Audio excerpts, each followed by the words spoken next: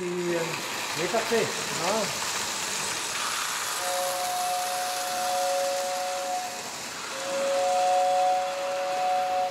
Suivi d'un deuxième train qui va être celui d'en haut. Ici, il n'est pas trop compliqué à fonctionner. Alors lui, il est parti, là, là, il est parti pour la vie.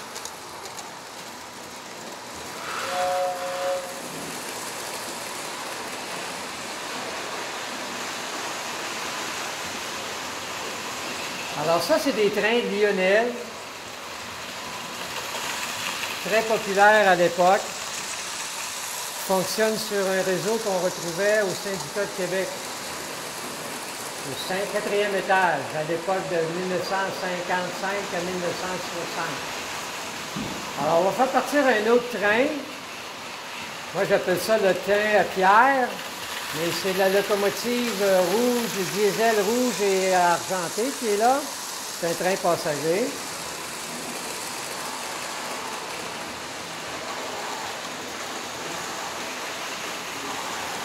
Alors voilà, il est parti. Alors ça, c'est un train qu'on retrouvait, euh, qui faisait la navette sur la côte ouest des États-Unis, le Santa Fe, comme on appelle. Monsieur Bourlé, vous avez cette passion pour les trains depuis combien de temps? Oh mon Dieu, ça remonte à l'âge de, 8-9 ans. À l'époque, je me suis fait donner ma première locomotive par euh, un de mes cousins à ma mère, qui était très à l'aise. Chez nous, on ne pouvait pas m'offrir une locomotive. Alors, ça remonte à 8-9 ans à peu près. Et puis, j'ai 75 ans, puis je suis aussi maniaque des trains que je l'étais. Et vous continuez à faire rêver les grands garçons, les petits garçons aussi. C'est vraiment cette passion-là de faire rêver, hein, sûrement.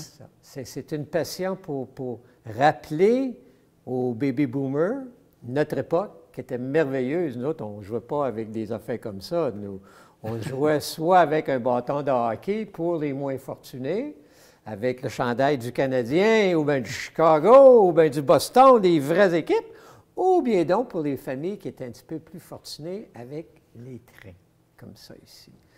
Alors, je fais rêver également les, plus vieux, les gens d'un certain âge qui ont connu avant la guerre les trains également, les gens, les jeunes également qui découvrent avec merveille ce genre de passion-là, à cause des accessoires. Parce que quand tu arrives à Noël, puis les parents donnent un petit train, ça fait le tour du sapin. Puis à un moment donné, ben, tu dis, moi j'entends des enfants, bon, ils plantent les trains, ça fait le tour du sapin. Vous allez découvrir avec les trains électriques des accessoires tels que un sawmill, par exemple, ou bien un, livreur de, glace ou des petites vaches qui montent dans un train. ou L'éclairage que je vois aussi. Différents, différents accessoires qui, en fonction, font émerveiller un réseau électrique. Et c'est la passion qu'on développe en créant un empire. Hey, c'est mon empire! Un peu comme Poutine fait présentement. Mais c'est mon empire! J'ai construit cette maison-là de mes propres mains. C'est ma maison. Alors, on, découvre des, des, passions, soit en électricité, parce qu'il faut que tu connaisses un peu la base de l'électricité, mais également d'architecture. Les architectes, ils font des bâtisses comme ça, sur du papier comme ça, comme le gazon. Alors, ça peut développer un sens d'architecture également, de bâtisseur. Euh, ça crée l'imaginaire pour les enfants. Aujourd'hui, ben, on c'est plus tout la même affaire. On tombe un peu dans la partie électronique, les éléments comme ça. C'est ça, c'est ça. Alors, Je regarde, vous avez une collection assez impressionnante. Est-ce que c'est une des belles collections au, Québec euh, que vous avez ici? Euh, ici, c'est du train Lionel. Il y a beaucoup de collectionneurs Lionel qui ont une plus grande passion de Lionel que je peux avoir. Je ne me, je me, vante pas d'être le plus gros collectionneur de Lionel c'est, au Québec, loin de là mais je suis le plus gros collectionneur de trains American Flyer, qui est à une autre échelle, un petit peu plus petit. Ça, c'est, ça, c'est du Lionel. Ça va sur euh, trois rails. Alors que le American Flyer était un petit peu plus petit, qui va sur deux rails. Alors, je vais mettre le... Oui, pour le montrer. Pour le montrer. Oups, comme ça ici. Alors, l'American Flyer monte sur deux rails. C'est plus réaliste, moi, je trouve, en tout cas, que trois rails, mais en tout cas, c'est d'autres choses. Et puis, le Lionel, qui est un petit peu plus gros, trois rails. Alors, je suis probablement le plus gros collectionneur de trains American Flyer bâti par Gilbert au Québec. Je ne vous dirai pas, là, tout ce qu'American Flyer a construit, je l'ai. Ah J'ai un réseau chez moi qui est plus gros que ça. Alors, mais c'est une passion. Ah oui. Euh, il y en a qui vont collectionner toutes sortes de trains. Moi, c'est spécifique. Alors, vous allez retrouver ici, là, un réseau qu'on retrouvait au syndicat de Québec dans le temps de Noël. Pour ceux qui se rappellent à ce moment-là? Oui. Sur Charret. Sur Charret, au coin de Charret et de la Couronne. Saint-Joseph, Saint-Joseph comme ça, la Couronne, puis Charret. Vous aviez le syndicat, vous aviez Paquette. Le syndicat de Québec, lui, avait le, réseau tel que vous voyez, en 8 par 8. Nous, on l'a agrandi. Puis, c'était du Lionel. Alors, à chaque année, depuis 1955 jusqu'en 62, quand à chaque année que Lionel sortait un nouveau train ou un nouvel accessoire, bien, il le mettait sur le réseau de démonstration dans le temps de Noël. Puis là, tu montrais au quatrième étage, puis tu arrivais devant ça. Oh! Papa, papa, je veux avoir ça dans le temps de Noël, s'il vous plaît, s'il vous plaît. Alors, c'était, alors que chez Paquette, la compagnie de la famille Lorrain, les autres, c'était du American Flyer. Comme ça. Ah. Donc, les deux étaient en compétition? Les deux étaient en compétition. Et les grands catholiques allaient toujours voir le syndicat de Québec parce que Saint-Nicolas les recevait. Alors, pour ceux qui se rappellent, dont Pierre Lahoud, d'ailleurs, à un moment donné, il, dit C'est vrai, Vendré, tu as bien raison. Il me sort une, photo sur. Regarde, Saint-Nicolas, puis à côté, c'est moi, au syndicat de Québec, dans les années 50, 60, alors que la compagnie Paquette, les autres, c'était le Père Noël de Coca-Cola. Ah. C'était plus populaire parce que la compagnie Paquette avait un grand, grand train dans le royaume du Père Noël. Alors, nous qui demeurions à ce moment-là sur la rue de la Couronne, on passait nos temps de Noël au syndicat ou bien chez Paquette. Alors, ça rappelle beaucoup de souvenirs aux gens de Québec, les alentours. À l'époque, leurs parents allaient magasiner, puis ils, les emmenaient. Emmenaient. Alors, c'est un, peu ça, le, le, but de ça, c'est de ramener une belle époque. M. Beaulé, vous, est-ce que vous faites, vous avez dit tantôt, vous avez construit, vous faites de la, restauration aussi de ces euh, différents engins? Oui, dans mes l'American Flyer, je restaure l'American Flyer. Je suis capable de, de monter ça. Il n'y a aucune pièce de circuit électronique qu'on retrouve dans les trains fabriqués jusqu'en 67, jusqu'à les deux compagnies fassent faillite. Aujourd'hui, je ne sais pas si tu peux me suivre, mais je vais aller, euh, je vais aller chercher quelque chose. Tout est, tout est, sur euh, des circuits électroniques. Ah, tu ne peux pas réparer ça toi-même. Alors, tu as la reproduction des mêmes locomotives qu'on avait à notre époque, mais c'est tous des circuits électroniques. Pour vous donner un exemple, au lieu de prendre des grands transformeurs qu'on retrouve sur le réseau, là, avec des poignées et tout ça, là, nous avons aujourd'hui une manette. les transformeurs sont encore là pour donner le pouvoir, mais on, a une manette qui envoie des longueurs d'onde à chaque locomotive et chaque locomotive répond à la longueur d'onde qui est envoyée par manette. On n'a pas besoin d'ajuster avec les transformeurs la vitesse, recul, avance.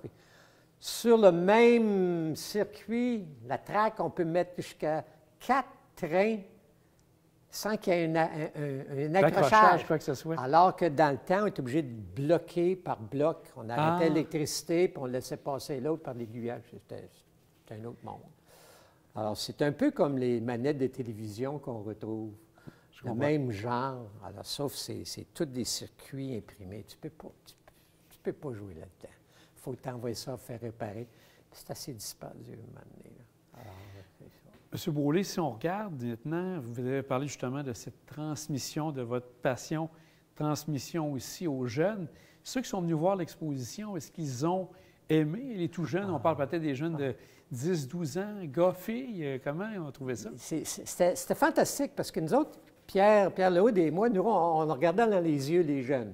C'est ce qui est important. Quand les jeunes, surtout, on les faisait actionner des accessoires.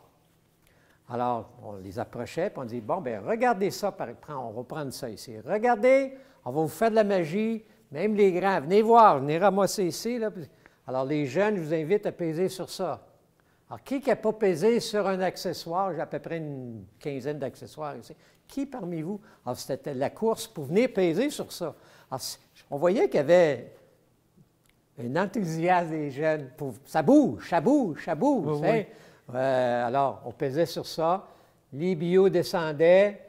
Je leur disais, écoutez, ça, c'est un arbre. Qu'est-ce qui arrive avec les arbres, par exemple? Bien là, on fait des planches avec ça, là. Hein? Oui, votre grand-père, lui, il a construit sa maison avec ses planches, mais ça vient d'un arbre. Regardez ce qui va arriver. Alors, on va mettre ça là. Il y en a quatre. On pèse sur le piton. Et puis, il y avait des planches coupées qui sortaient du sawmill, des planches comme ça ici. Alors, ça, c'est un exemple. Même chose avec les différents accessoires. Alors, ça a éveillé l'imaginaire dans les enfants. Lorsqu'on faisait marcher les locomotives, par exemple, les locomotives qui font la boucane puis qui crient en même temps, c'est la même chose. Ah, je veux, je veux, je veux, je veux. Alors, c'était la, la, la, presque la bataille pour faire fonctionner les locomotives. Il fallait les contrôler parce que des fois, on avait des accidents. On voyait c'était l'événement, l'éveillement des, des, des enfants qui découvrent, qui découvrent un nouveau monde. C'est pas une passion qu'ils ont. Euh, c'est pas une passion qu'ils ont appris, malheureusement, parce que je me répète, c'est un, hobby qui coûtait assez cher à l'époque. Pour vous donner un exemple, euh, aujourd'hui, euh, je ne dirais pas les prix, mais j'ai recommandé aux gens qui étaient ici, écoutez, vous voyez comment vos enfants sont, passionnés vous-même, vous me posez des questions, où on peut acheter ça? Allez pas acheter du neuf. Allez chez Marketplace, par exemple. Pour aller chercher des pièces usagées. Des, pièces usagées, des locomotives comme ça, un prix très raisonnable. Puis, ça se répare, ça. Vos vieilles rails que vous retrouvez sur Marketplace, vous prenez un peu de, de sablé, papier sablé, vous les remettez à neuf. Euh, je leur donnais des trucs. Je leur donnais des trucs comment fabriquer du gazon avec du brin de teinté, avec du teintex. Alors, j'ai donné des, trucs vraiment pour qu'ils embarquent dedans. Comment faire des arbres, etc. Alors, chez les gens d'un autre âge, de ma génération, bien, il y en a qui, redécouvraient ce qu'ils n'ont pas été hein. capables d'avoir, puis qui auraient toujours voulu avoir un train électrique chez eux. Euh, ou bien donc une passion que leur grand-père avait, puis au fil des années, ben grand-papa il est mort, puis il ne nous a pas légué ses trains, il, les a donnés. Oui, je comprends. Mais c'est ça là, que, ton père, ton grand-père avait.